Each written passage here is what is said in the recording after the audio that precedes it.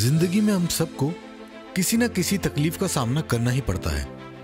कुछ के हल हम जल्दी ढूंढ लेते हैं और कुछ समय लेकर।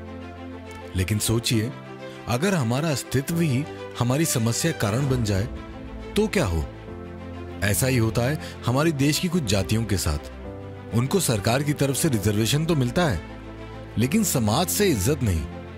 आज हम आपको एक ऐसे शख्स से मिलाएँगे जो अपना पूरा जीवन ऐसे ही वंचित बच्चों का भविष्य बनाने में लगा रहे हैं। आइए स्वागत करते हैं। अनु भाई बहुत बहुत स्वागत है फाइव स्टोरी टेलर्स पे। Thank you thank you Darpan पहला मेरा जो सवाल है आपसे आपको मैं एक अंबेडकर राइट के रूप में जानता हूँ आपको एक एडुकेटर के रूप में जानता हूँ आपको एक सोशल वर्कर के रूप में जानता हूँ एक फ़िल्म मेकर के रूप में भी जानता हूँ।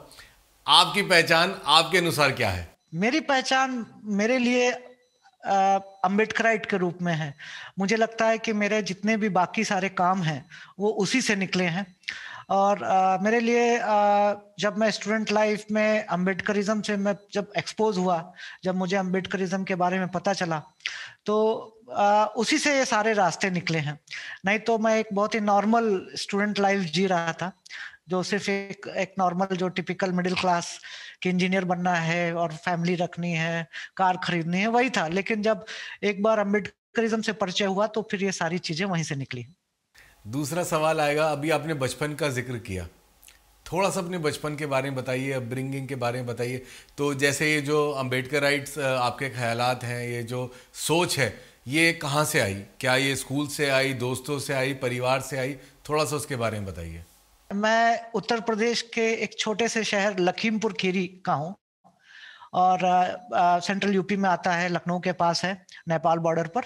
तो मैं उस छोटे से शहर का हूँ और आ, मेरे पिताजी वकील थे और आ, शहर में ही पला बड़ा और गाँव से उतना नाता नहीं था मेरा।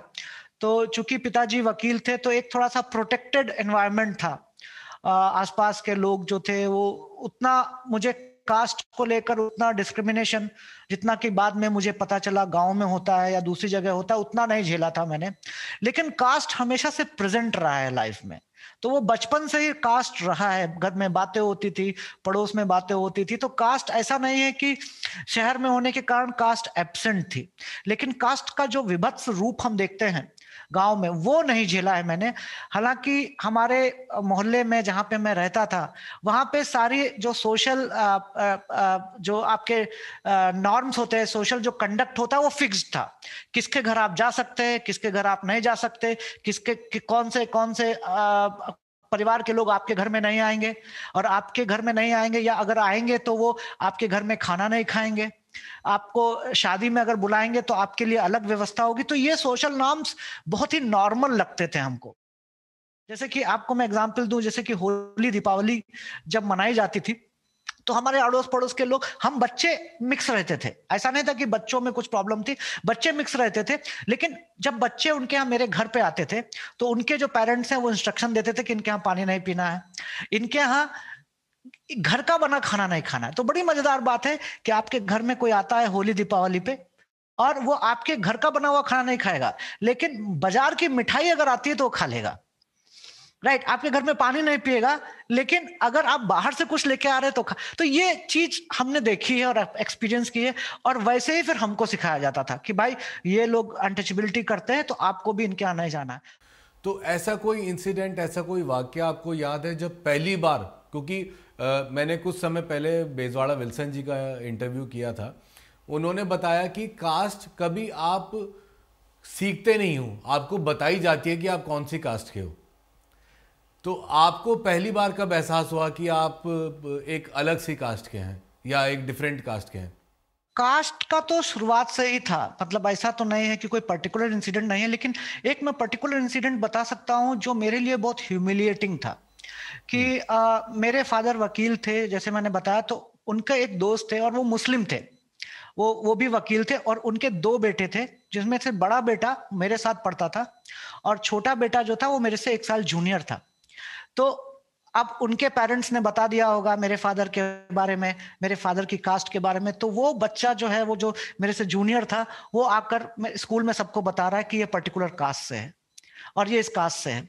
तो वो मेरे लिए बहुत ह्यूमिलिएटिंग था वो सेवन्थ एट्थ की बात थी क्योंकि उससे पहले का क्योंकि मैं एक इंग्लिश मीडियम स्कूल में पढ़ रहा था और वो क्रिश्चियन मिशनरी स्कूल था प्राइवेट स्कूल था तो उसमें कोई कास्ट का ऐसा कोई एजेंडा नहीं था क्योंकि कोई स्कॉलरशिप नहीं थी कास्ट की तो ऐसा कुछ था नहीं सबको बराबर फ़ीस देना पड़ता था।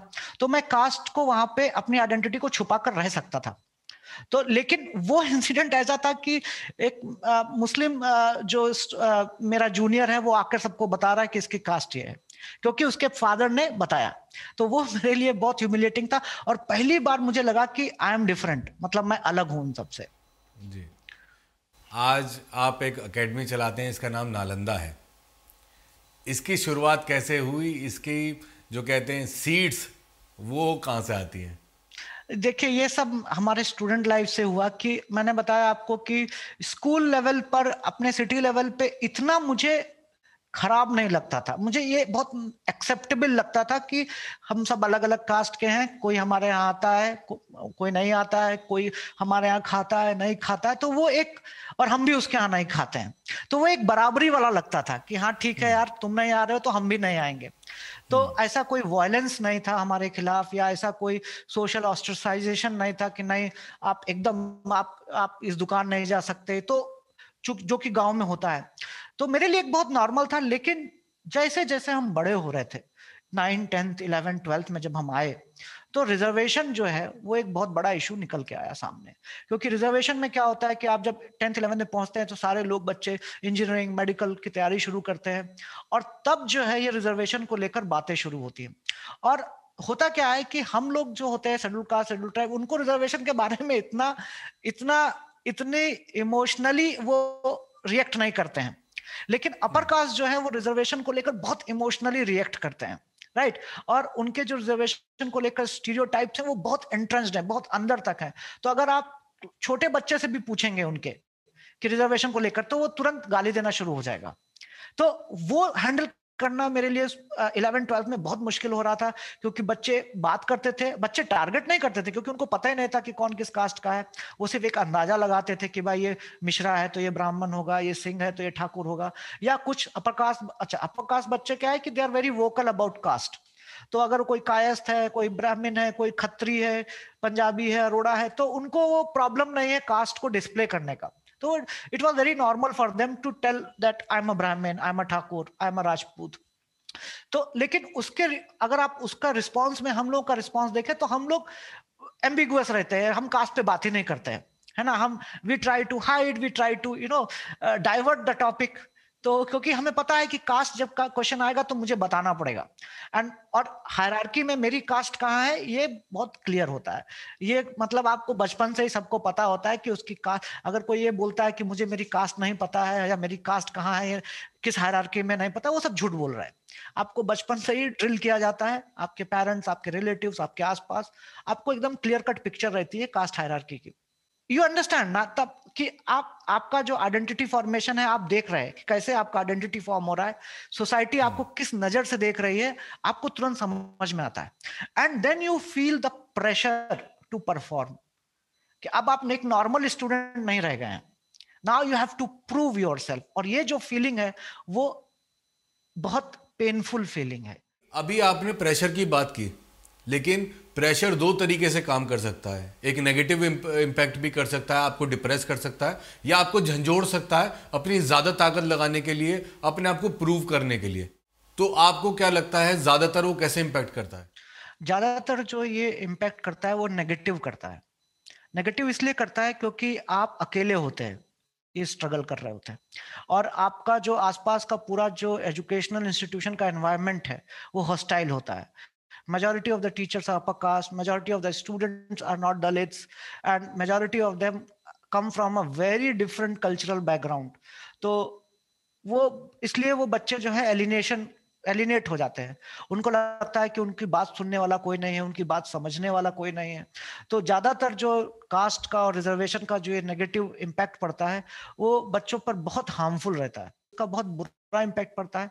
हमारे बहुत सारे स्टूडेंट्स जो हैं जो कि टॉप यूनिवर्सिटीज में हैं प्रीमियर इंस्टीट्यूशंस में हैं they commit suicide because of that तो I have already worked on the cases of suicide आपने डॉक्यूमेंट्रीज बनाई तो कहीं ना कहीं से इसकी सोच आई होगी।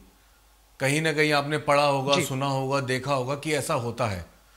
तो वो अपने पर्सनल एक्सपीरियंस से आया या कुछ कहीं बाहर से आया? मेरे मेरे खुद मेरे खुद के पर्सनल एक्सपीरियंस से आया। मैंने ट्वेल्थ के बाद मैं यूपी में इंजीनियरिंग कॉलेज में मैंने एडमिशन लिया one of the oldest and very reputed engineering college जिसका नाम है Harcourt Butler technological institute HBTI Kanpur जो। कि 1925 में बना था अंग्रेज़ों के समय का and it's very quite quite reputed और वहाँ पर जब मैंने एडमिशन लिया तो पहली बार मुझे कास्ट का जो नेकेड जो जिसको बोलते हैं ना नेकेड रूप मैंने देखा था। कि किस तरीके से जब आप जाते हैं, मैं आपको मतलब अब आप सोचिए I am the student who has been just selected मैं अपनी सारी फ़ाइल लेके जाता हूँ, सारे सर्टिफिकेट से, और मैं क्लर्क के पास जाता हूँ फॉर्म भरने के लिए। वो क्लर्क मेरी फ़ाइल देखता है और जहाँ कास्ट डिस्क्रिम कास्ट सर्टिफिकेट देखता है, उसका चेहरा चेंज हो जाता है। उसकी आँखों में you can see the hate and that I have experience first hand कि फिर वो बोलता है कि, अरे, ये कास्ट सर्टिफिकेट ये तो नकली है, भागो यहाँ से। तो they will try to humiliate you तो अब कि ये ये कास्ट सर्टिफिकेट तो बहुत पुराना लग रहा है। ये कहीं फर्जी है क्या? नकली है क्या? कहाँ से चले आते हो तुम लोग? तो they these are the these are the responses that i have received first hand my own experience during engineering college तो वो जो जो वहाँ पे जो एडमिनिस्ट्रेटर्स बैठे हुए हैं जो आपके सारे डॉक्यूमेंट्स चेक कर रहे हैं वो बिना कमेंट के आपको नहीं छोड़ेंगे। They will not stop you from taking admission but they will make sure that this experience is traumatic for you तो वो रोक इसलिए नहीं सकते क्योंकि उनकी ताकत नहीं है शायद रोकने की। हाँ रो, नहीं रोक नहीं सकते क्योंकि लीगल आपको you have to give admission वही ताकत नहीं है उनकी वो एक सिस्टम का वो हाँ, है। बट उनका जो हेट है वो क्वाइट विजिबल है।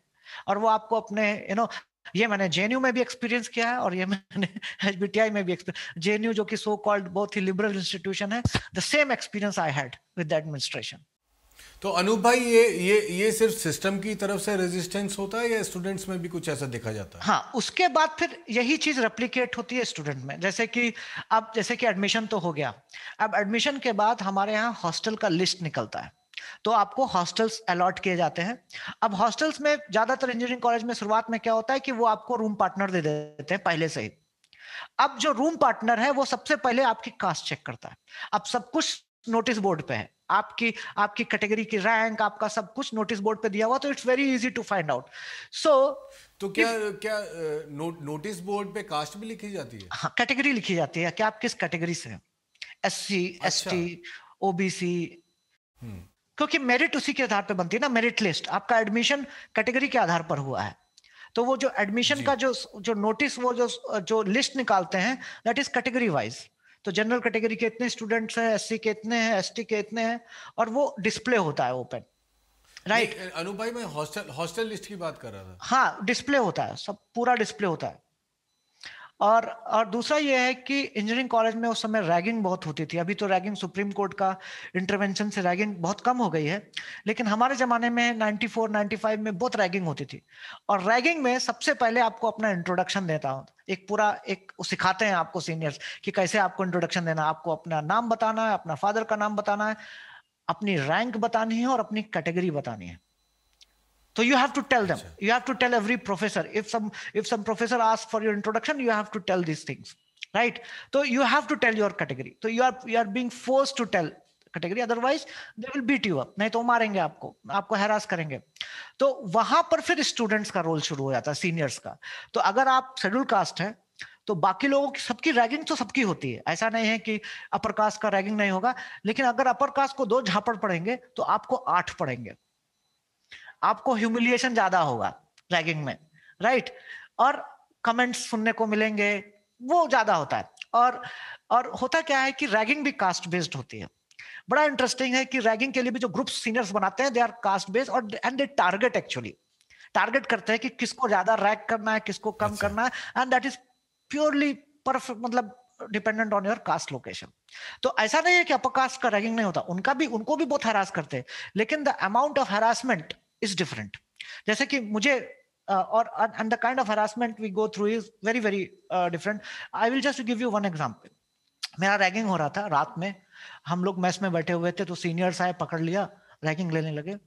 और मेरे को बोला, जब इंट्रोडक्शन दो तो मैंने इंट्रोडक्शन दिया, मेरा कास्ट कैटेगरी सब बताया। तो मेरे को बोला गया कि आप डॉक्टर अंबेडकर को अब्यूज करो। तो I was very shocked actually और मैंने मना किया कि नहीं दूँगा मैं। तो थोड़ा सा टेंशन हम्म। हुआ फिर ultimately I have to give लेकिन जब मैंने दिया ना तो मुझे अंदर से इतना खराब लगा। आई फेल्ट ह्यूमिलिएटेड मतलब मुझे लगा कि यार मेरे से ही क्यों बोला गया और बाबा साहब को ही क्यों? तो मैं जब वापस आया तो that was my actually the moment where I started thinking about doctor Ambedkar कि इनके लिए डॉक्टर अंबेडकर इतने इंपॉर्टेंट क्यों हैं? कि ये मेरे से गाली दिलवा रहे और मेरे को उनसे आइडेंटिफाई क्यों कर रहे हैं? तो वो मोमेंट था जहाँ पर मैं actually I started you know thinking about doctor Ambedkar for the first time कि हाँ कुछ तो कनेक्शन है इसका मतलब। और दूसरा जो इंजीनियरिंग कॉलेज में था एक्सपीरियंस वो पहला पहला दिन था हमारा और हमारे फिजिक्स के एक प्रोफेसर थे श्रीवास्तव शायद कायस थे शायद श्रीवास्तव जी थे वो तो दाढ़ी वाड़ी थे और बड़े बड़े भारी प्रोफेसर लगते थे बहुत ज्ञानी टाइप के। तो वो आए क्लास में और हम सत्तर अस्सी लोगों का बैच था, सत्तर अस्सी में हम सात आठ लोग होंगे रिजर्वेशन वाले, क्योंकि तब तो रिजर्वेशन भी फुलफिल नहीं होता था। तो अभी रिजर्वेशन थोड़ा फॉलो होता है। पहले तो दो सीट भर दिया, चार सीट भर दिया, बाकी वैकेंट ऐसे पड़ी रहती थी। तो हम शायद सात आठ लोग थे रिज़र्व कैटेगरी के एस सी एस टी मिला के तो आठ दस रहे होंगे। तो वो इंट्रोडक्शन लेते हैं हमारा, हम सब इंट्रोडक्शन देते हैं। उसके बाद वो बड़े स्टाइल से बोलते हैं कि भाई, ये जो एस सी एस टी है वो पढ़ाई ठीक से करे मायावती नंबर नहीं देगी मैं दूँगा। अच्छा। अब 95 की बात है। तो कहीं ना कहीं आपको बताया जाता है बार हाँ, बार कि आप आसानी से जो आ गए हो अभी यहाँ पर सफ़र मेरा आसान कहना है कि आसानी से नहीं आए हैं। हम भी बहुत मेहनत करके आए हैं। नहीं नहीं नहीं नहीं एक एक एक थॉट हाँ, प्रोसेस है ये हाँ। होता है ना कि आप आसानी से रिजर्वेशन की वजह से आ गए हो। तो हाँ तो ये सारे इंसिडेंट्स थे जो मुझे बहुत बहुत मेरे को अंदर तक काट रहे थे। और उसके बाद फिर इंजीनियरिंग कॉलेज में बहुत वायलेंस भी था। रैगिंग मैंने बताया रैगिंग में हमारे बच्चों के साथ बहुत वायलेंस होता था। लेकिन एक बहुत इंटरेस्टिंग चीज़ भी देखी मैंने। उसी समय जब रैगिंग की शुरुआत हुई थी तो हमारे कुछ schedule caste schedule tribe seniors थे, जो रैगिंग में पार्टिसिपेट नहीं करते थे। और वो आकर हमको मदद करते थे अच्छा। कि यहाँ मत जाना वहाँ मत जाना। और वो सामने नहीं आते थे डर के रहते थे। But they were trying to come forward and help us ठीक है? कि आ, उधर मत जाना ये प्रोफेसर बहुत कास्टिस्ट है इसका पेपर मत लेना ये करना ये बुक से पढ़ना। तो they were trying to help us support us but they could not come forward क्योंकि उनको अपना कैरियर था डर डर था। तो अनूप भाई, इसके बाद शायद कहीं ना कहीं आपको एक्सपोजर हुआ कि किस तरीके का एक जो डीलिंग है एस सी और कैटेगरी स्टूडेंट्स के साथ, वो कैसी है स्कूल्स और कॉलेजेस में? तो शायद वहाँ से आपकी शुरुआत हुई होगी मुहिम पे काम कर कर कुछ डॉक्यूमेंट्रीज बनाने की। हाँ हाँ उसके अलावा क्या था, मैं एक और चीज़ मैं बताना चाहूँगा कि मैं एक और चीज़ देख रहा था मेरे सामने। वो ये था कि majority of the schedule caste schedule tribe students जो हैं, वो गाँव से आए थे। फ़र्स्ट जनरेशन लिटरेट थे। मेरे जैसे शेड्यूल कास्ट, जो कि सेकंड जनरेशन लिटरेट है अर्बन सेंटर से आए हैं इंग्लिश मीडियम से आए बहुत कम थे। इक्का दुक्का थे। हम सिर्फ़ दो तीन लोग थे जो लखनऊ से, लखीमपुर से, बाकी सब कोई इटावा के गाँव से है, कोई एटा के गाँव से है, कोई कानपुर के गाँव से, यहाँ से आए थे। फ़र्स्ट जनरेशन लिटरेट थे, हिंदी मीडियम थे। उनको ज़्यादा प्रॉब्लम थी। उनके साथ ज़्यादा मिसबिहेव होता था, उनके साथ ज़्यादा डिस्क्रिमिनेशन होता था और they they became the poster boys and girls of reservation कि देखो रिजर्वेशन वाले ऐसे होते हैं। जबकि वो मेरे से ज़्यादा इंटेलिजेंट थे वो मेरे से ज़्यादा नंबर लेकर आए थे।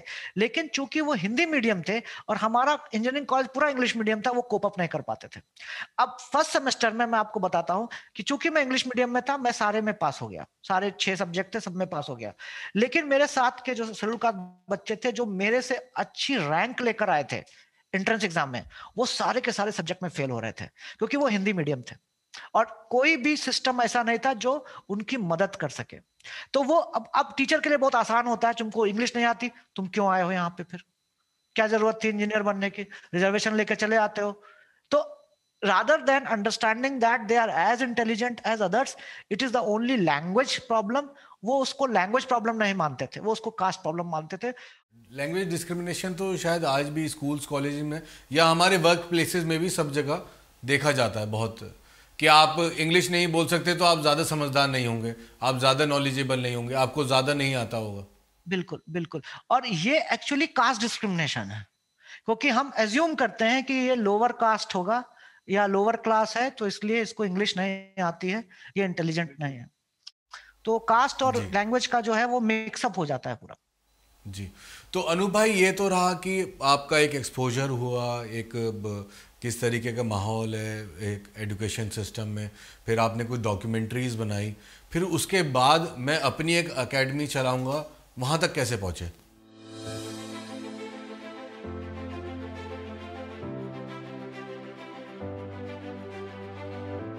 ऐसी और कहानियाँ देखने के लिए हमारे चैनल को सब्सक्राइब करना मत भूलिएगा। नमस्कार।